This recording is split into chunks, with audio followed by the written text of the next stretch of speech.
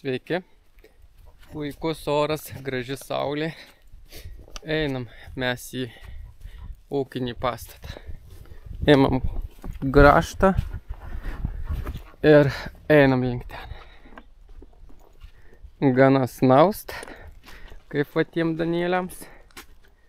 Reikia užsimti veiklom. Kokiam? Ogi einam prie dobės reikalų. Prie dobės reikalai yra paprasti.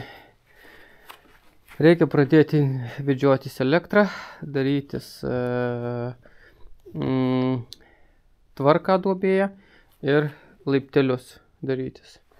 E, tada impregnuot šitas e, lentas, bet čia šiandien nesu tais darbais užsimsim, o šiandien užsimam štai įsikasim griovelį, e, vandens ištraukimo žarną, reikia prasigręžti skylę pro pamatą į ten.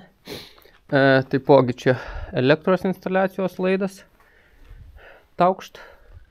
Ir po truputį, po truputį turim pradėti e, įsirengimo darbus. Tai va tokius dabar, kol šiltesnis oras, geras oras, padarysim šitaip. E, po to žiūrėsim, ką čia, ką čia daryti. Turime tinklą, vat, vartą.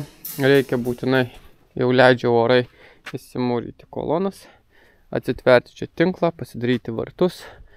Žodžiu, čia daug darbų, daug rekonstrukcijos planų. Neaišku, ar mes čia viską spėsime, ką užsibrėžė gyvendinti, bet darbų tai tikrai bus. Kontento, jeigu jums patinka, irgi bus. Bet noriu iki pavasario pasidaryti būtinai dubę su visa elektros instaliacija. Nes vasarą dar bus galima taip remontuotis automobilius, nebus šalta, o kaip ir dabar toks oras visai puikus. E, tai grindys pagrindė, įvažiavimas pagrindė, vartai pagrindė.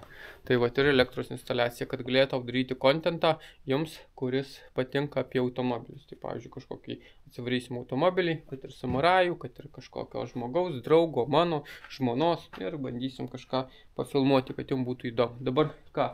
Grebiam graštelį ir bandysim gręžti skylę. Va šitam vamsdukui.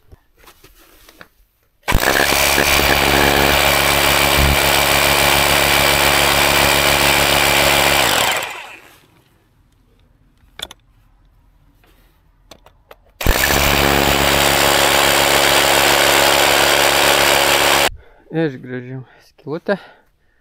Reikėjo pakast mm, su kastuvu. Tai žiūrėkit.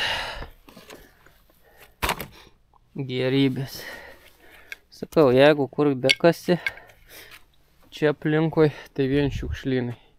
Giliai net nemėgink kast, pa. Čia buvę fermos pastatai. Tai baisu, kas darosi. Sakau, net nemėgink kast. Nes jeigu tik giliau pradedi kast, ieškot kažko, tai būtinai rasi tokio, ko, ko nesitikėjai rasti. Tai va, sakau, visur tokį, va. Net ir čia, va, triušiai pradėjo kast. Tai va, matot, jau čia buvo išrinkta mano, va. va šiferio gabalai reikia sudėti. Tai va, va, kokias dratgalys inmestas. Tai va, šitas ratas. Tai su kasinėjimais pas mane šitam plote nėra ypatingai faina. Dabar ką? Reikia persidėti va štai šitą vamsdelį. Ir jeigu kasko, jisai bus išvestas, nu, prabėgimas. Išbėgti, jeigu ką.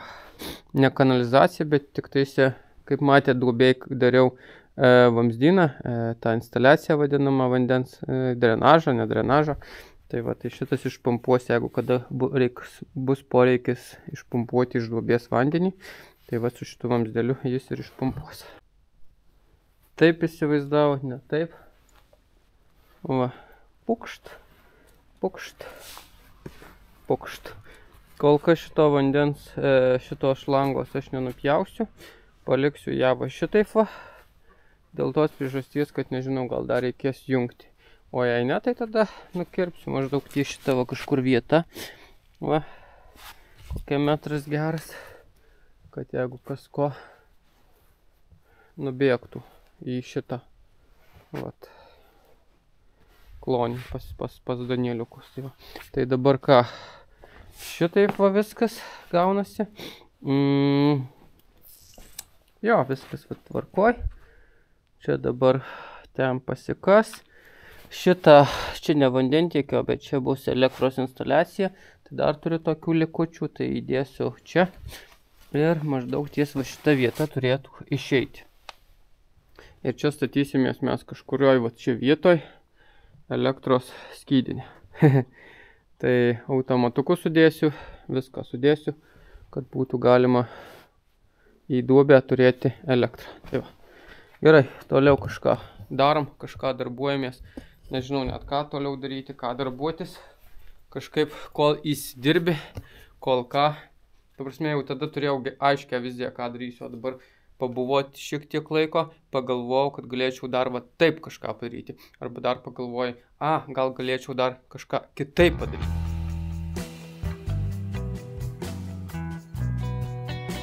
Taip kasimas ir vyksta. Sugalvojau, kad 10 cm gylio nukasu pagrindą visą. Ir vat nuo šitos ribos iki šičia 50 cm padarau manau, jo. Sprakt ir padaryti. Daug laiko užtruko, nu nedaug, valandą kažkur tai. Ir apkasėm visur. Tai va. Dabar ramiai galim rakinti garažiuką, aitvarkytis ūkio ir ateiti kitą dieną. Tai ką, susitiksim kitą dieną, kitame epizode už kelių sekundžių.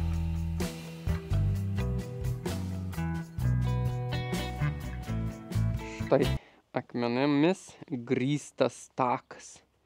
Ne, atvirai tai čia sudėjau visus likučius. Šiaip tai sveiki iš kitos dienos. E, likučiai sudėliota, sumėsta. Viskas. Va taip. Trinkelių čia valiojosi. Ten kampas iš kampo, kampas iš kampo. Pagalvojau, sudėsiu. Tai dar einam atsivešim akmenukų kažkiek tai. Vat ir bus paruošta betonavimu. Dabar tik tai nežinau, kaip lygius man nusistatyti. Čia tai vart lygis yra. Ten visa duobė irgi lygmin, ta prasme lygis išlaikytas, tik kaip va čia nusiimt. Galvojau lysteles dėt, gal dar kažką dėt, bet taip ir nesugalvojau. Bet būtų labai gerai dabar va čia užsidėjus tą lygmenį ir lygiai lygiai įsibetonavus. Vat atvežė draugas cemento, kad nepritrukčiau. Tai va. Ir po truputį, po truputį einam į gerąją pusę. Grįžo vėl mikrofoniukas čia prie kepuriuko. Šitas mikrofoniukas dabar jau yra naujosios kartos, naujosios generacijos DJ Mic. Kamerai nieko, nieko aplamai nereikia. Užtenka turėti paprastą kamerą be jokių navarotų. Ne taip kaip anksčiau reikėdavo e, siūstuvo, o dabar vat užtenka, va matot. Kamerytė lengva. Net atsirado noras daugiau filmuoti, tik kad neturiu ką filmuoti, bet tu prasme gali ją pasimti bet kur su savim labai labai patogiai. Tai gerai, lekiam akmenukų, dasibaigiam dėlioti. Šiandien nespėsim betonuoti, bet nors susiruošim viską betonavimui. Nu va, jau daugiau nebeliko akmenų. Vat. Čia iš laukų, kur suvežta, susidėdavau vis krūvuose ir dabar vat, panaudoju. Žmonės sako, nenaudok akmenų, ką tu čia sutaupai, dar kažką. Bet tai yra statybinė medžiaga. Gera statybinė medžiaga, kuri jau nuo seno naudojama. Žiūrėkit, parodysiu vieną dalyką. Luktelkit. Čia va yra sklypo pakraštys mano. Ir žiūrėkit, čia blokas yra. Iš viršaus kaip ir cementas, viskas tvarkoj. Čia statėsi, man atrodo, statinės. Ir žiūrėkit, apačioj visur, kas yra, ne akmenys. Ir šitas laitas, manau, guli jau kokie tikrai 15 metų, jei nedaugiau. Nieko neatsitiko, va, matot. Samanos apsamanoja, bet visa kita ledas. Tai akmenys yra blogai ar gerai. Aš nežinau, bet mano namas statytas tas raudonas 1961 liktais, jei neklysto. Ir irgi visas, visas pamatas iš akmenų. Laiko po šiai dienai. Sakysite, kad pamatas, tai viskas tvarkoj bet grindim blogai akmenys. Aš vištininką įsibetonavau iš akmenų. Tai dar ten buvo ir pacukai bandė eiti ir viską. Tai neįgraužė. Pas triušius akmenų nedėjau, gryną cemento, nu, mišinį, gal apie iki 10 cm. Tai jau myžaliukai suėdė cementą. Liko tik žvyras. Tai, va. tai akmenys kaip prižamoji medžiaga ji tikrai yra gera. Na ką, let's go. Taip ir, ir labai daug susitaupo, žinot ko, cemento, nes vat jie apsipils skystesnių cementų pilsim, apsigaups visur, čia apsigaups, čia apsigaus viskas. Tai va. Tankai nevažinės, viskas super laikis. E, vietomis 15, mažiausiai vieta 10. Va irgi radau čia kažkokį įkastą, bet iš jo irgi nelupu, palieku. Žiūrėk, pamaščiau, pagalvojau, kad čia su metalu daryti majaką, bet po to pagalvojau, gal ilgai užsitęs. Čia mano šitie metodai gamybos, dar kažkas. Tai aš darysiu be majakų. Jo. Ir dėsiu kažkokį gal klentgalį. Gal kažtai pagalvojau. Tai bandysiu dabar dėti lentą, apsivalyti ir kitą dieną betonuot. Šiandien tai niekaip nespėsiu išbetonuot, bet kitai dienai tai yra planas įsibetonuoti. Tik nežinau, ar aš čia lentų tiek turėsiu. Gal kažką rasiu, gal kažką surasiu. Tai va, nes su, su tuo majaku, su ta metalinė armatūra, nemanau, kad čia bus gerai. Manau, kad man nebus gerai. Gal ir gerai gausis, bet labai ilgai užtruks ją daryti. Nu, pažiūrėsim, kaip čia darysis. Žiūrim. Šiaip netaip įsprendžiau problemą, sugalvojau, kad bus geriausia man va taip. O, pasidėjau šitą. Čia susiputeliau biškį makruchos, kad laikytųsi. Ir man svarbu va šitą plokštumą. Dabar tai aišku, čia dar kleba viskas. Bet čia viskas gerai susipūs, čia bus tvarkoj. Ir susistovės. Ir aš turėsiu aukštį. O, pasimsiu nuo čia aukštį ir turėsiu. Dar va reikės vieną majaką čia kažkur pasidėti, kad galėčiau išlaviruoti. Ir viskas. Dar, o, čia keturios tuoj. Tai pasidarau tą pačią pusę. Taip va. Apsipjausiu putą. Va taip va. Nusilaužysim va šitus kraštelius putos kad, nu, nesimatytų jos. Čia tegul stovi, bet kad jos nesimatytų, jeigu kas ko važinės automobilis. Ir šiandienos planas huliganas bus pavykęs su kaupu. Kaip Gidrys sakė, taip ir padarė. Pasiraušė tą, apsipjaustė putą. Žodžiu, liko tik taise kitai dienai jungti velnio mašiną ir viską, viską, viską išbetonuoti. Taip, pilnai sutinku su jumis, geriausia viską daryti iš karto, tinkšt, bet taip pas mane nesidaro.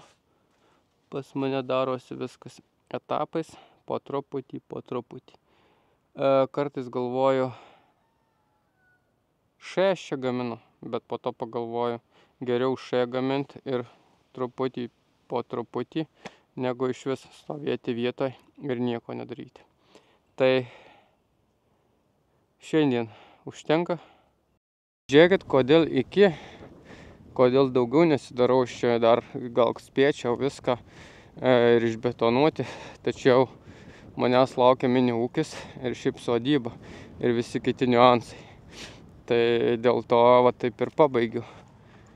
E, darbukus jau yra beveik penkios, tai reikia eiti apžiūrėti mini ūkį, pripilti Danieliams vandenuko nes nepripylęs. Tai va dėl to ir iki ir jau reikia tvarkytis.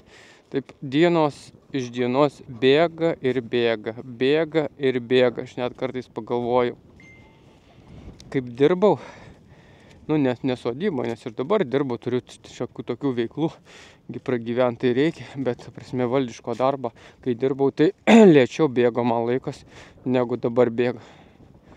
Dabar tai tik atsikėlė pirmanis, penktadienis, pirmanis, penktadienis. Žodžiu, ne, ne, nežinau, ar pirmanis, ar penktadienis, ar čia trečiadienis. Rytoj net reiktų pasižiūrėti, kurį dieną. Gal rytoj penktadienis, bet tik atsikėlė pietus, rytas, vakaras. Pietus, rytas. Tai yra rytas, pietus, vakaras. Sveiki su jumis Gidrys, nuomonės formuotojas, influenceris geras. Paskaitau jūsų komentarus, tai kai kurie šypseną kelia, kai kurie dar didesnę šypseną kelia, bet viskas yra normaliai. Žiūrėkit, yra toks variantas, kad aš jau nemiegu, nesnaudžiu, apšertas minio ūkis, sutvarkyta viskas, bet aš su velnio mašina. Jau velnio mašina taip įvaldęs, kad jau žinau net mintinai, ko, ko maišyti, kiek maišyti, tik kai visą laiką e, maišau E, šeši kibirai žvyraus, vienas su pusė kibiras vandens ir vienas su pusė, 1,8 kažkaip kibiro e, cemento, va šito. Dabar ką darau, žiūrėkite. Čia tokius kystesnių pratraukiau, ir kol tau sudėsiu, tai čia truputėlį e, apdžios. E, tai va, kad šita lenta neįsistumtų. Mm, dabar ką, kiekvienas, kur akmuo yra, tai vat stengiausi pripilti, kad vat ir va su mentelė pridrošti. Kad būtų tarp kiekvieno akmenuko pribėgę, nu, cemento. Tai mm. Ir dabar va susitvarkysiu šitą sluoksnį. Einu dabar į aną pusę, taip pat čia apsipilinėjau. Tai čia bus dvi mišalkos ten dvi mišalkos ir po to va šitą įsicementuosiu. Ir lygmenį, aišku, sueisiu, susivesiu. Tai va, dar jau čia, va, matot, pradeda džiūsti, stingti cementas. O čia irgi visur tarpukus palikęs, kad e, tarp va šitų plytų į, įeitų cementas. E, nuo plytų gaunasi kažkas e, 5 nu, nu, ar manau, 5 cm e, šitas sluoksnis grino e, cemento, nu, betono. O visa kita e, gaunasi nuo e, 12 iki 15 cm. Tai ganėtinai tokia stora danga. Tai nebus baisu net padėti ir kažkokį damkratą, jeigu norėsi pakelti automobilį ar kažką. Tai va. Va. Ką, po daugiau laiko praėjusio pabaigėme savo, savo, savo projekto dalį. Tai va, atrodo štai va taip va. Matot, tikšt, tikšt, tikšt, tikšt, tikšt. Ir šiandienos darbus baigsim. Eisim įsiplauti viską. E, rytoj jau nusimsim lenteles. E, žinau tą dalyką, kad va, šitoj vietoj truputėlį prifeilinau, bet jau nėra kaip užėti. Ir čia gal priskystas betonas gavosi. Tai irgi truputėlį tokiom bangeliam, tai kaip išdžius bus tokie nelabai faina. Bet kaip garažui, tai tikrai super. Ir dar pasirodo šitas pamatas nelabai lygus. Tai va taip. Tai va.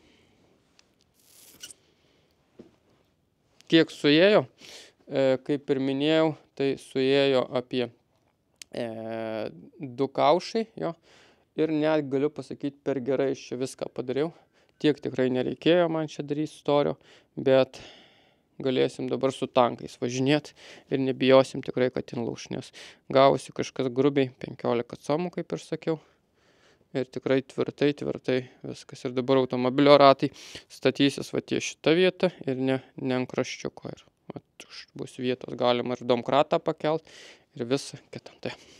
Gerai, aš einu plautis visos ir inventoriaus viso įrangos, o mes kaip visą laiką susitiksim kituose video ir kituose vloguose.